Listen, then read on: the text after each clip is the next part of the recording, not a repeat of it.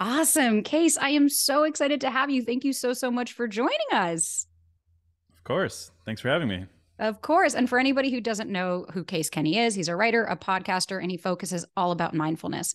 So I felt like what better synergy for Do the Work than for us to talk about mindfulness? Because I know, at least for me, for years, I didn't really understand the correlation between like the thoughts that I have and the reality that I was living and how it could manifest and how things could happen. So I would actually love to even start kind of how did you how did you get into all of this? Like what's your journey with mindfulness and where you were to where you are now?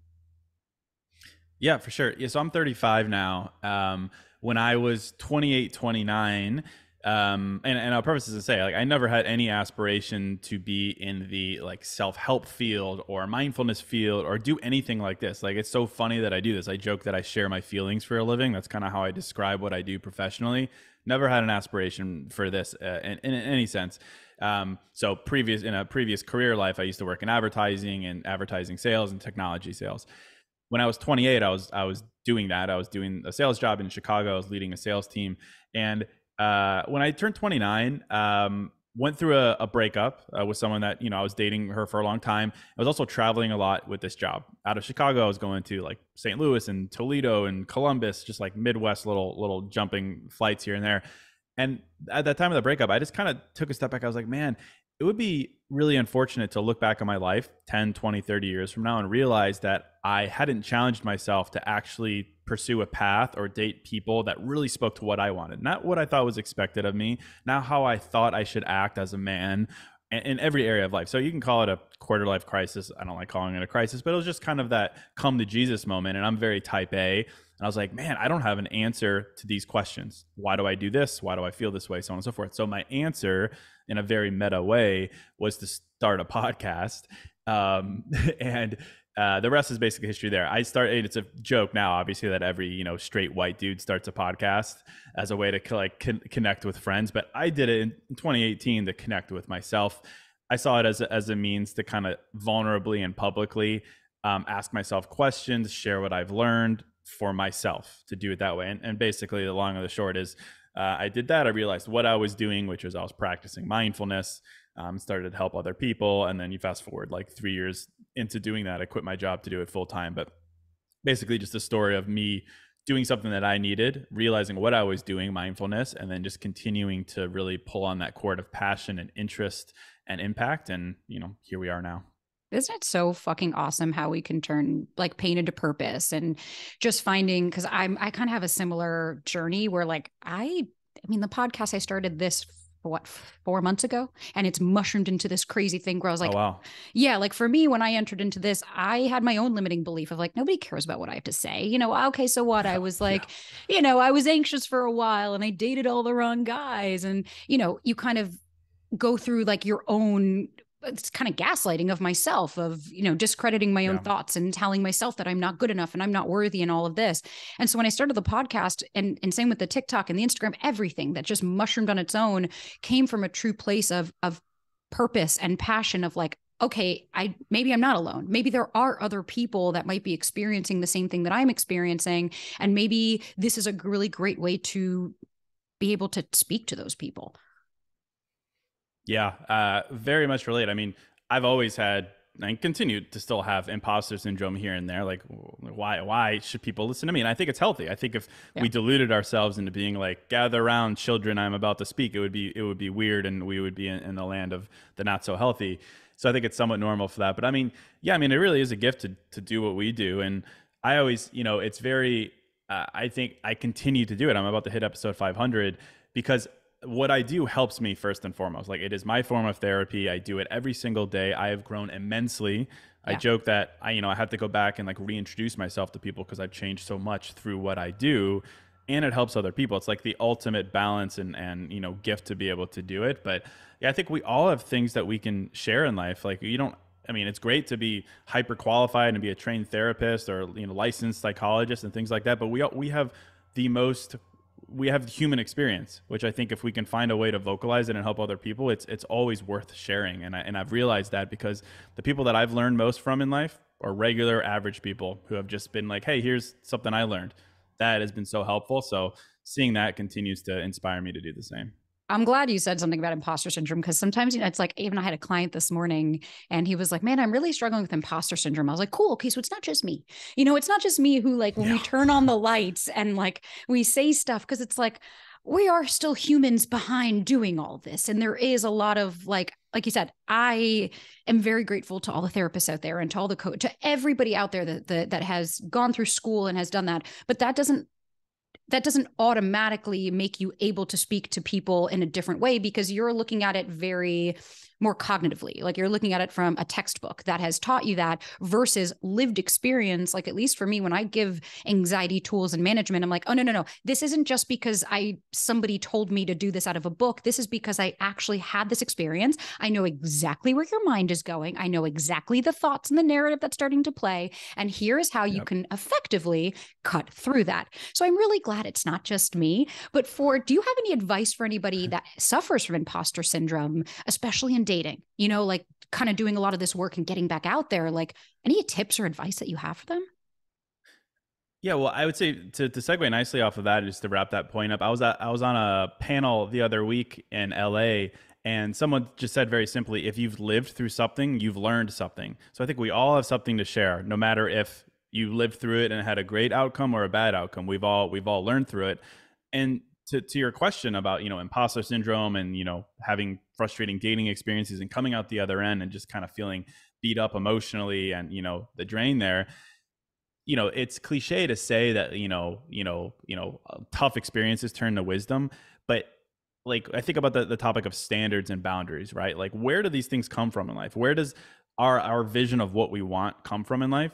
Unfortunately it doesn't come out of a vacuum although we can you know think of things that we want without experience but standards and boundaries they come from life experiences that were the opposite of those things like i talk to a lot of people who are nervous about being too picky or having too high of a standard and the way i always help them ground it is tell me about the experience that taught you to have that standard and if you could pinpoint it and you say my standard is i demand loyalty and honesty for instance okay that's great fantastic where did that come from majority of the times, unfortunately, it comes from times where they dated someone who was not honest or loyal. And I say, that sucks. I've got nothing but empathy for you. But when you can prove on a linear line, experience the standard, that is what makes it unbreakable. That is what turns a lived experience into a learned truth. And when it comes to like topics of imposter syndrome, whether it's in dating or your career, like if you live through something, you can say, this is why, this is where this aspiration or goal or standard comes from. You know, it doesn't necessarily diminish the doubt that you might have, but you're like an, a lawyer like here's the proof here's the evidence and here's the the outcome like you can prove it to yourself which i think gives you like more consistency than saying like oh you know this and that. It's like no this and that because of this and that. So I, I just like my whole approach to mindfulness is very observation based it's i have lived through a therefore i believe b. And that's much stronger than saying i believe b. Is I know right. I've lived through A, therefore I believe B. And we all have a massive memory bank of good experiences, bad experiences, times where we, you know, uh, achieved, times where we disappointed ourselves. And I think it's our job and the way that we combat imposter syndrome is to look through those memories and come up with that that connective truth. No, and I love that. I think that's like my favorite practice that I learned in DBT therapy was like where are the facts to back this up like put your thoughts on trial yeah. so that you can yeah. even because I, I think like what a lot of people forget is like you are only alone with yourself. Uh, you could have me and Case with you all fucking day, but we can't mm-hmm. control what's happening in your brain. So if you are having these thoughts, it's about being really cognizant of them and being able to say, wait, I need to call myself out on my shit. And I need to be able to say, is there actually is there real turmoil that I'm creating this entire narrative for and my nervous system is starting to get dysregulated and all of that?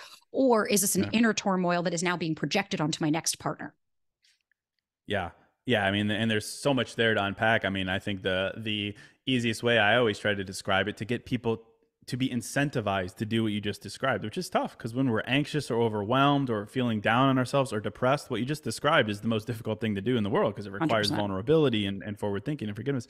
I always try to encourage people, literally what you described, to say that in life you have facts and feelings and they're not always the same. And the only way to have the ability to compare a feeling to a fact is to have established facts. And yeah. facts are to the tune of, I believe this because of this. I've sat down and said, this is non negotiable because of these experiences.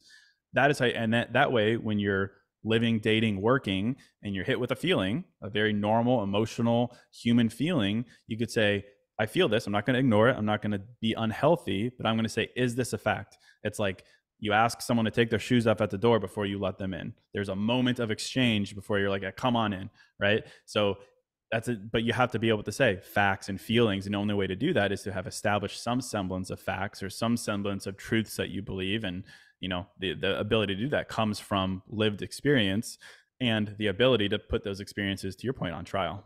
Totally. And let me ask you, when you were like, I don't know if dating now or when you were or whatever, and you're, you're kind of whatever personal life you want to share, do you feel like you had any kind of anxiety when you were dating? And like, if so or if not like what were boundaries that you felt were really important to set in dating just in general or with people that you work with? Because i think a lot of people that i talk to struggle with like i don't know where to start or how do i set a boundary? or what does that even mean? And i think that has so much mm. to do with mindset as well. So i would love to hear if you have any personal experience on that.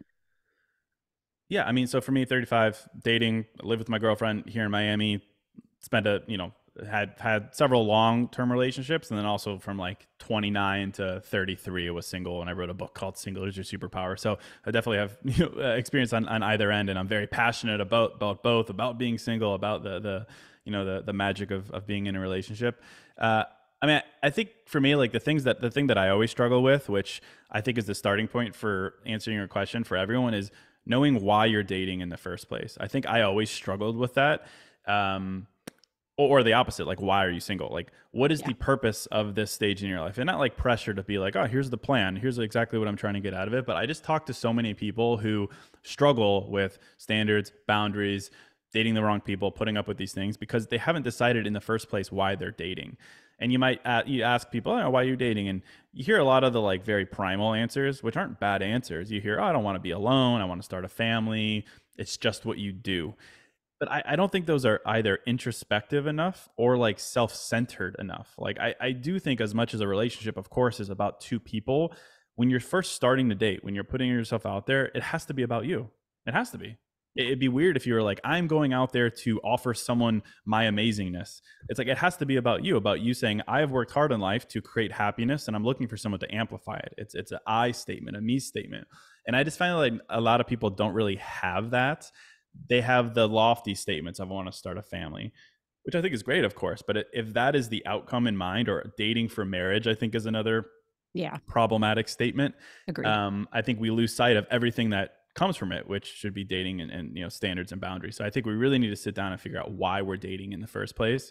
That comes from a, a, a, a not a, a place of fear for one, a fear of being alone or lack right? Hoping that someone will come along and give us purpose in life. So I wrote a whole book called Single Your Superpower about that idea of like, you know, what what is the purpose of being single versus what is the purpose of being in a relationship. So that that's kind of my answer there is like really starting at the beginning of these things, like going way back to the beginning to have a strong I answer to that and then evolving from there which don't worry, we're going to link the book in the show notes so that everybody can get the book because I think it's super important whether you're single or not to be able yeah. to read it. But no, I'm so with you. It's like, what's your intention? I'm very like, I was, I knew when I entered into the dating world especially as somebody who have like I'm painfully self-aware, like to the point where even my friends were like, "All right, yeah. what the fuck are you gonna do with all the self-awareness?" And I was like, "Oh, that's a great question."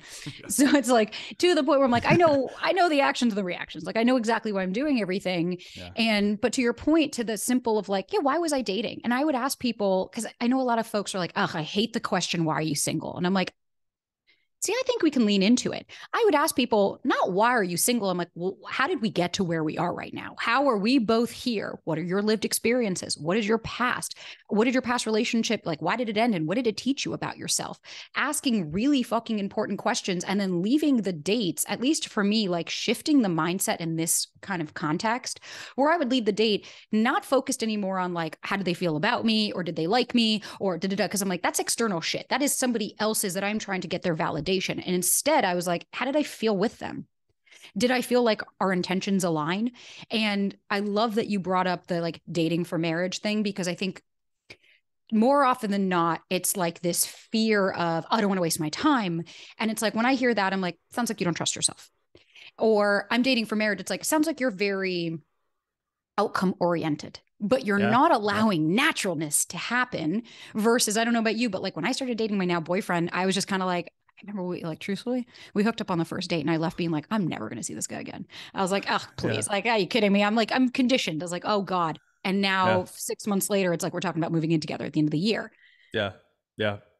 Well, that, that's a great example of of this. I, I, I talk a lot about that as like, oh, you know, you can't do this on the first date, or this you got to wait three. Like the whole all these ideas is like I for every rule I've heard, I've have multiple proof points to say that it's just not true. So I I love that uh, for one. But yeah, I mean the idea of like dating for an outcome, which I think is often on an emotional level synonymous with dating for validation. It, obviously, we could sit here and be like, that's bad, and everyone's going to agree because we all know it's bad. But it's like practically why it's bad is because it it gets you out of reality and it gets you into potential. And that's where like I see all the problems because when you're outcome oriented, all you're focused on is the potential of where it could go and likely that's potential that's aligned with some kind of timeline. I'm getting older, having kids, marriage, pressure from your parents, and so on and so forth, which again are, are fine things. We're not bad people for feeling that and but I, I, think about the majority of, of, of, conversations I have with people where the, there's murkiness, there's mixed feelings, there's there's lack of communication. It comes from our focus on potential, and obviously you have to be focused on potential for a relationship to say, oh, you know, this can go somewhere. But if we're not in reality, if we're not asking ourselves like, in this moment, is this good enough for me? If we have, if we can't even define what good enough for me is in the moment, then we're just going to be blinded and myopically focused on the future. And that's where we start overlooking all kinds of things. So I think it goes back to the beginning of why am I dating? Me. Why me? Another question I, I like that has to be additive to an additional question we can talk about later, but is, you know, how do I want to feel? Like, yeah. I think we need to be able to define that for ourselves because you could be like, oh, he was funny. I felt entertained. But is that your goal? Is your goal to be entertained by your partner? Yeah. I want to be understood. Okay. Well, not now we're getting somewhere, but is there is there more to it so i i think we need to take time i'm a voracious journaler i really encourage people to journal go to therapy whatever format allows you to be honest with yourself to sit down and say here's how i want to feel and why where that comes from what would that offer you um, and use that to guide your intention of dating in the first place so you're not just swiping mindlessly ending up in a relationship because you think it has legs legs to what um, you know i think it's a strong place of power to operate from no, I love that. I, I couldn't agree more. Like my boyfriend will always say that. He's like, what's the objective? And it's like, cause I'll get, you know, people that will like write in or this or this. And he's like, okay, well, this could have seven different outcomes depending on like, what is it that you want? And I think sometimes when I shift that question where I'll be like, okay, cool. How do you want to feel when you're with somebody? And you'll get kind of the stare of like, oh, I guess I didn't even really think about that. Like I didn't really think about how I want to feel. It's like, you want to feel seen, heard, and understood. Okay, cool. So did that person ask you questions about yourself? Did they did, did they yeah. at least try to get to know you? No, they didn't ask me anything. It's like, cool. So you didn't feel very seen, did you? And then when you answered, were they just waiting for you to stop talking so that they could start talking? Cool. You didn't feel feel heard. So you might feel about them, oh, but they're so hot. And oh my God, they've got a great job. And, da, da, da, and all those cute little like bubbly, shallow lists. It's like, but at the core meat and potatoes, then we wonder why situationships happen. It's like because you're not really being authentic to your needs and being communicative about that. Yeah. Yeah. It's such a, it's the timeline you just described is, is perfect. That is how we should evaluate our, our dates and interactions with other people. And we also, we need to find strength to really stay rooted in that because yeah. I think what you just described, I see so often, particularly with women, in that they'll be like, yeah, I want to see, be certain, you know, heard, as seen, and understood and, and felt in that way. But you know, and then mm-hmm. they'll check off all these like exterior things that are, and they're like, oh, maybe I'm being too needy. Maybe I'm asking for too much, or maybe eventually I'll get those substantive things. And we've kind of flip flopped our pyramid hierarchy of needs. And now we're going to the superficial thing. So I, we need to find a way to really stay rooted uh, in that. And also, it's like, our past experiences are really powerful in that they give us those standards, but they, they could also be the contrary. Like I see a lot of people say, this is what I deserve because I've been offered it in the past. But like we have to draw a strong line. Like what you've been offered isn't necessarily what you deserve. Like we we misconstrue that all the time. That's just what someone's offering you. Just because it's been offered to you maybe once, twice, you know, that the bare minimum is not what you deserve. For instance, if we're going to the end of the spectrum, like we can't look to the past of call it disappointing dating experiences where we've been offered less or something that's not rooted in reciprocity as proof of what we deserve in the future. So we have to be able to delineate that and look at our experiences in both an affirming light of what you deserve and also a challenging light of this is the experience, but I actually deserve the opposite of it. And I think somewhere in the mix there is our ability to critically evaluate our relationships in the present. No, I, perfectly said. And I think there's, it's funny because my um I got I talked to my, I would say my clientele is like very 50-50 split, which like I thought I was going to have significantly more women and I'm like, "Oh no, no, there are a lot of men as well that are dealing with this stuff. I just don't think that they get." That's why I'm so stoked that you are being so open about this because I think it it gives a sheds a light that like yes there are men that think this. Like yes they do exist and just because you haven't met them yet. But i i find it so often that like i'll deal with somebody that's like oh no these are my boundaries non-negotiables. And i'm like okay talk to me. What does a date look like for you? And they're like well before i even go on the date i'm telling him i'm not sleeping with you and da da da. And it's like you know what that's actually telling somebody. It's like that's not setting a boundary. What sets a boundary is at the end of the night when the guy walks you to the car and says, "Do you want to come back to my place?" You say, "No, thanks." That's setting a boundary. I'm like, what you're actually telling this person by being so outward of like, "Well, I'm not going to get hurt." It sounds you don't trust yourself. That you have to. It sounds insecure that you have to say it. What you're telling yeah. this guy is, "That's what I'm used to." I'm used to a guy fucking Ooh, me over yeah. after a first date. So now I'm going to tell you what doesn't work versus I don't want to talk about what I'm not going to do. I'd rather talk about what I'm going to do. Yeah. Yeah. I love that. I mean, for yeah, for one, I mean, practically you're basically radiating this this insecurity and you're you're radiating, you know, you're carrying something from a past experience, you're, you're projecting these, these perceptions of, of of what you're expecting. Um yeah, I mean, I think it's it's a you know, I, I always talk a lot about like a willingness to be hurt. Um, in the sense of like a willingness to put yourself in situations where your feelings might be rejected your energy might be not reciprocated you might have to affirm your boundary and say no. Like we have to be willing to put ourselves in those positions with no prior judgment. I think that's a really strong place to operate from and of course it's very tough because the more you put yourself out there the more you're willing to love first or try first or be the first one to make a first move the more likely you are statistically to to experience some form of rejection but that is where you prove it that's where you prove it to yourself of course. That's where you prove that a standard isn't just something that you can talk and, and post a quote on instagram about. It's where you could mm. actually live it. And that's what makes it real. And of course it's tough. It's like it's much easier to text someone before and say hey i'm not sleeping with you than it is in the moment to be like no i'm not sleeping with you. It's of course it's two different realities and one is awkward and one is you know maybe not so much but it's like our willingness to put ourselves in situations where we stand up for ourselves and we're willing to I, I did this whole i wrote a whole chapter in my new book about a, a willingness to try first yeah. I, there's this quote on instagram i see it all the time and it's so funny to me it's it's something to the tune of uh, whoever cares less wins and I, I just hate it so much. Oh, I hate, I hate it that. with every every ounce of my soul. But it's like every time I see it, everyone's like, "Yeah, it's like I don't, I'm not, I don't, you know, I, am waiting for your move. I'm checking you mm-hmm. out, man. And we, we've, we've got people who like, you know, really like that kind of advice. That they see it as like an empowering thing. They're like, no, you make the first move. You match, you know, like I'll match your energy. And I just think that's such a passive way to like. I can't think of a more explicit example of waiting for permission in life than uh, whoever cares less wins mindset. So I'm very anti that. I'm sure you are I, as well. I, if um, only everyone could see my facial expressions while you were saying that. Yeah, I was like, disgust, oh, pure God. disgust. it's the same. I'm not a big fan, personally speaking. I'm not a big fan of a lot of the stuff that's mainstream, especially which I, I was going to ask you what your favorite quote is of yours, but we're going to get to that later because I'm I'm I'm loving this too because I'm I don't love the black and whites. I don't love the sweeping statements. And I'm with you. Like when people I have it all the time, like, oh, match their energy. And I'm like, why would you water yourself down to do something? I'm with you in the sense of if somebody doesn't reach out to me, like if it's not reciprocal, I'm like, if I'm yeah, if I'm in a yeah. tennis match and I'm throwing 30 balls at your fucking head for you to finally send one back, you're right. I should just walk away. Yes. But why would I then yes. match your energy? Because then I'm now doing myself a disservice and I'm self abandoning my wants and needs to now match where you are, which is, baby, that's a low vibration for me. Yeah. Yeah, not fucking yeah. with that. And of course, I'm never. Av- I'm not advocating for people to to you know yeah. be you know to to hurt themselves in the process of doing this and disrespect themselves. It's a matter of be willing to try first, see what's 100%. received. If you want to try again, so be it. But two three times, you're you're done. You're done.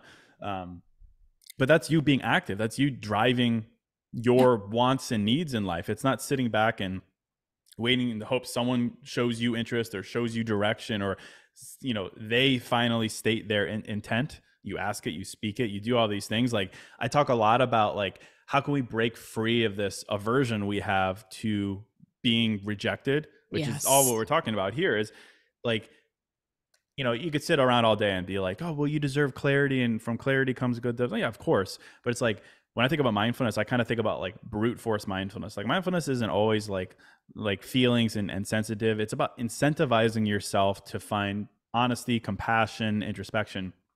And the thing that I always come back to is like a little mantra. It's like in instances where there's a lack of communication, there's some kind of ambiguity, mixed signals, we're confused and we don't want to speak up because we're afraid of being hurt or rejected. It's like, how do we incentivize ourselves to do it? I always come back to the thing of just like, when you speak up, you either get what you want or you get what you need.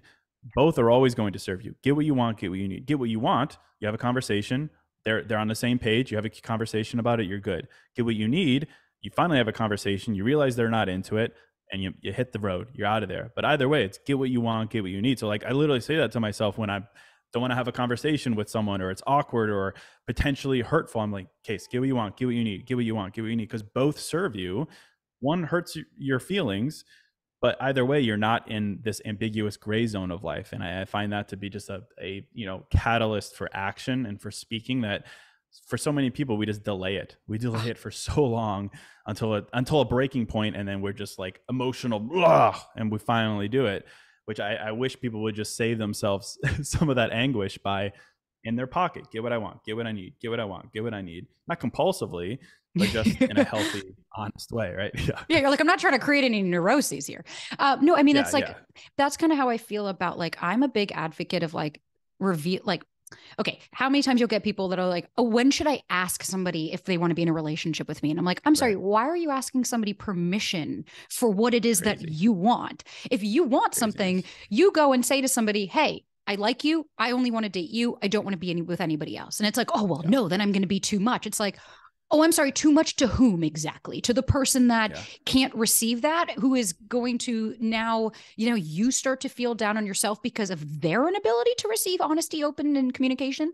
Because I wish people understood being in a relationship is a lot more than just having some fun dates and going around and having good sex. Being in a relationship is having really tough fucking conversations that are uncomfortable, that lead you to growth, but that at the end of it, you're like, wow, I feel closer to my partner now that we said this. Yeah. And that's the biggest thing is like the right partner wants you to be open and real and raw. And I know that's cliche and people are like, that's a pipe dream.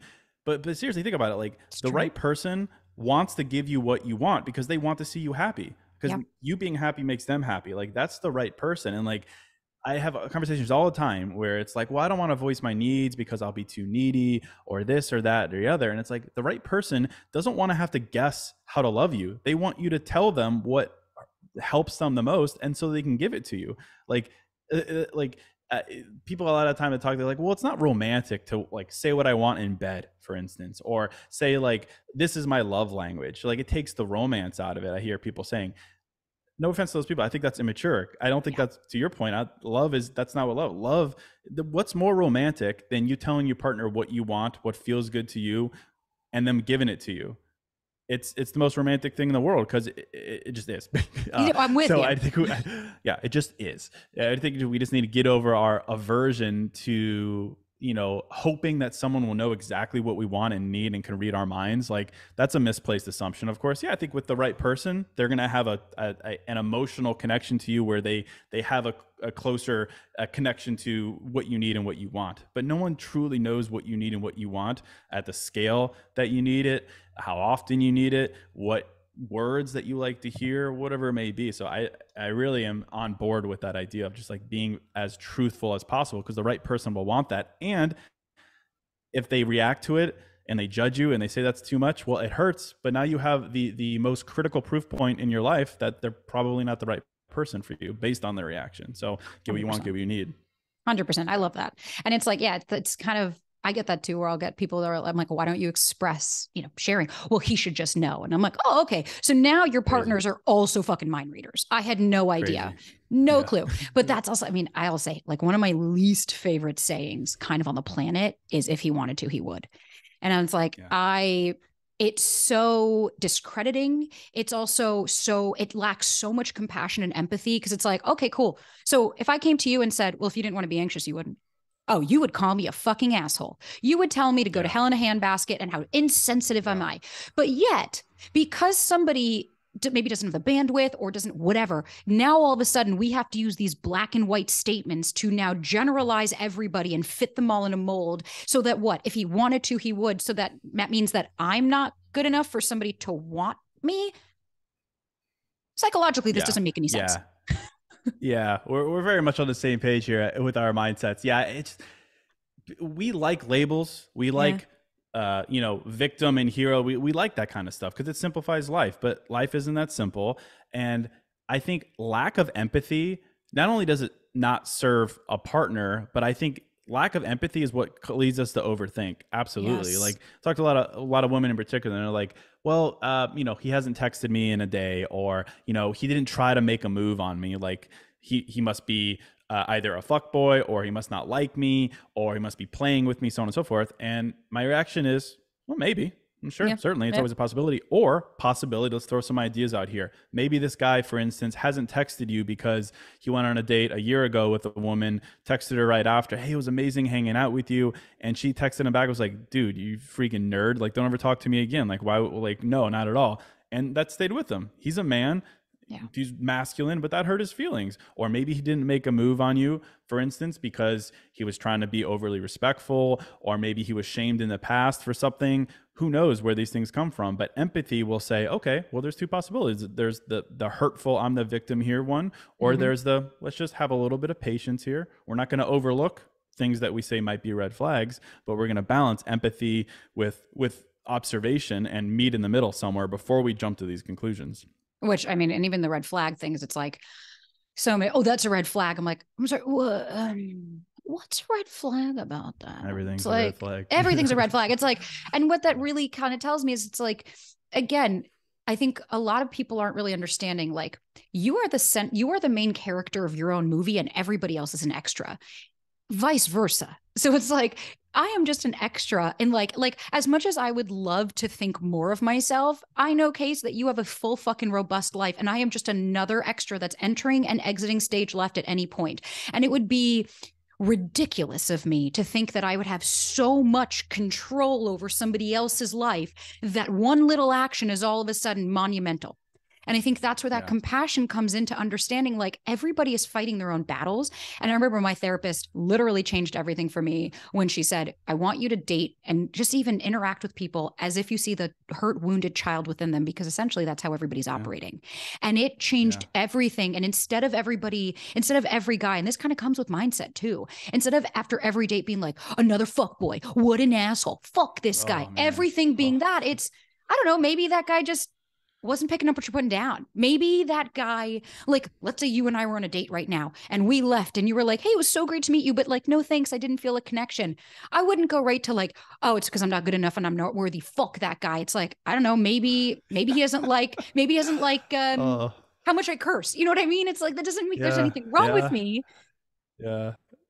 It's such a refreshing point to hear. I went off on that on my podcast the other day because I spend a lot of time on social media for the sake of learning and observing, but it's yeah. like it's become internalized at this point for me. It's like a lot of people and a lot of women in particular, and I keep referencing women not in a bad way, just because most of my audience is women, so most of the feedback I get is from women. Is Same. a lot of women are so quick to say, "Oh, narcissist, narcissist, toxic, narcissist." Like maybe, maybe and first of all, we got to reevaluate what that word means, but maybe, or maybe you didn't have the compatibility, or maybe, sure, he didn't handle the breakup that well. It doesn't mean he's a, a clinical narcissist. It doesn't mean it was toxic necessarily. It just wasn't reciprocated and we're moving on. This idea of wanting cut and dry victim labels again I, I, would never try to de-victimize someone and i would never try to you know say your experience isn't valid of course it is but i think a lot of times we do that to distract ourselves from uh, holding ourselves accountable of yeah. what we put up with, the, the person we were that allowed that to happen, for one. But two, to also do the work that says, okay, here's what I've learned and I'm moving on. Here's the why behind that, as opposed to, oh, narcissist, that was why. Narcissist, that was why. It's like let's let's look at the actual behaviors. Let's get a little bit more specific, and then again, focus on us instead of, instead of them. But we're very quick to toss around terms like that, um, you know, because it's easy oh, uh, to do that. yeah, it's it's like, and it's it's. I mean, I I actually get I used to get really offended because like my father is a very textbook narcissist, like down to the T, and I my ex was one, and so when people are oh he's a narcissist, I would get almost annoyed where I'm like, you don't know what that really means. And you don't know how discrediting yeah. that is to people. And the problem, it's the same thing case with people being like, I, I have had the, the ghosting thing. I had to make a fucking, I worked with Yahoo recently on creating content for them of what is ghosting because I was like, I don't think you guys understand that the mindset you're in is actually fucking you. Because no, ghosting isn't, you didn't have, just because you had one date with somebody and they didn't want to contact you ever, that doesn't mean that they ghosted you. That person just didn't want to yeah. see you again. And so I'll get girls yeah. that are like, this guy ghosted me eight times. And I'm like, wait, what? What are you talking about? Well, he just didn't answer for two days. I'm like, oh my God, this is why mindset is so important in dating. Because when you're entering in with all of this fakakta, you know, all of this murky water, you're not actually able to see clearly. Yeah, yeah, that's such a great point. Yeah, the ghost, the ghosting comedy. I mean, I think for me, like I think a lot about rushing. I think a lot of what we're describing here comes from rushing. I mean, we, we have these preconceived timelines, this pressure to reach certain points, and when they're not reached, we start tossing out labels. We t- we start saying, "Oh, it's because you know they're not serious," and it's like, you know, I think a lot about like the the love that we want in quotes versus the love that we deserve, and I think mm-hmm. the love that we deserve is slow. Yeah, it certainly isn't dragged out. It's not uh, complacent, but it's slow because I you know Uh, you compare that to things like love bombing, right? Or like coming on too strong. It's like, again, back to the idea of the right person will want you to tell them what they want. The right person also wants to know that you're right for them. They're not yes. going to come out on date two and say, I love you. They're not going to love bomb you in an attempt to get you to love them because they don't even know you. A healthy person is going to be a little skeptical in the same way that you should approach them with saying, What are you doing for me? They should have the same for you. So that's why it's got to be a little slow. It's got to be a little unrushed, not because they're fucking with you, not because they're not serious, but because they should have the same mentality that you have, which is let's see if actions and, and words align. Let's let's see how the vibe is past the first date or second date. I, I've written chapters and episodes on the idea that you know the beginning stages of a relationship aren't real. Yeah. Um, because i think you need conflict and you need drama to really understand someone. And i'm not saying like you know you're going to concoct up some drama but that's the only way to get the true essence of someone. And you're not going to get that on date one or date two. That's why you need time and you can't rush it and the right person will be on the same page because they want to make sure you're right for them in the same way you want to make sure you're right for them so uh, yeah i think the idea of time is is a is a, you know slippery one certainly yeah I had a video where I talked about like going slow. Like, what does it mean to go slow in a relationship? And I was like, yeah. Going slow isn't an excuse for bad behavior. It doesn't mean that you can just like see each other once every month and it's a casual thing. It's like, no, no, no. That's just bullshit. That's somebody fucking with you. Going slow, I'm like, my boyfriend and I are still going slow in the sense where we're not trying to rush and expedite stages of a yeah. relationship. Why would we start talking about marriage? It's only been six months. Where are we going? Neither one of us are in any rush to get there. And I remember I had one girl and she was like, that's bullshit. A man will move mountains for you. And I was like, but what does that have anything to do with the expedition of time? And it's because, again, it's like, hate, hate to break it to all my anxious that are listening. Anxious are also avoidant because they are avoiding the abandonment wound. They are avo- avoiding mm. being alone and being so it's okay, let's just get to it so that I cannot feel abandoned when it's like, on the contrary, that's how you blink your eyes and three years later go, How the fuck did I get into this? Because you didn't see the forest for the trees. You were standing so close to the stump that you wanted it to create this entire vision. And when you finally went macro instead of so micro on looking at stupid behavior, like, does he text me 10 times a day versus is this guy intentional showing up, asking me questions and trying to get to know me further? That's where that narrative starts to come into play. And it's like, if we can start to really start to chip away, and that's why I'm a big proponent of like, you don't need to text every day when you're dating. I think that is completely yeah. absurd. And I think it fucks with your mind. Yeah. Then it's like, yeah. if we can start to show ourselves a little bit of grace and compassion of this guy's not necessarily pulling the wool over your eyes just because he didn't text you for two days. Maybe he has a fucking life and you haven't earned a place in it yet. Yeah. I love that. I think, you know, the thing that I come back to is, um, you know, we talked about like knowing how you want to feel. I think that like, and I love your thoughts on this too, because like here's where we come into the balance of like needing to hold ourselves accountable on both ends. It's like, you know, this idea of like saying, am, do I feel in love? I think yeah. is is can be a misleading question to ask yourself because there's going to be times where you don't feel in love, of course. And if, if that's your litmus test for the health of a relationship, you're going to start massively questioning yourself. So how do we find a balance there? So I always talk about, you know, love of course is a feeling. Of course it is. But more than a feeling it's a series of choices. It's a series of behaviors that that are exhibited by this person that we need to look to. You know someone who loves you is going to do the difficult things. They're going to have the difficult conversations. They're going to you know ha- do all these things. And those should make you feel a certain way. But if we're always looking through the lens of in this moment do i feel in love? I think we're setting ourselves up for some overthinking for one, uh, a lot of comparison for two. I mean, if we're comparing what in love looks like to the internet, we'll, we'll never have love that's good enough for us. never. There'll always, there'll always be a version of it that's different. Um, so yeah, I mean, I, this idea of balancing love as a feeling and love as a choice, somewhere in there is the, no, I, answer. And I like that a lot because I, I sometimes I think about even my boyfriend. Like we say, I love you, and it's like, so there are moments where I'm like, I don't love you right now. You know, it's like I'm like I'm not into it, and it's like it had nothing to do with anything besides I don't know. Maybe he just wait, just that day we weren't feeling as connected. Maybe he woke up and he didn't get a lot of sleep, so he was being a little shorter with me. And it's like that doesn't mean I still don't. I'm not in love with him, and I would never make a heart a rash decision on that. It's like then, like you said though, you start to look at it's like oh well, the reason I love this person isn't because they buy me stuff or because they are taking me out on dates, or it's like I love them because they're supportive of me when I'm in a low moment. They step up for me or the choices that they make make me feel supported and loved by them that they they put me as a priority.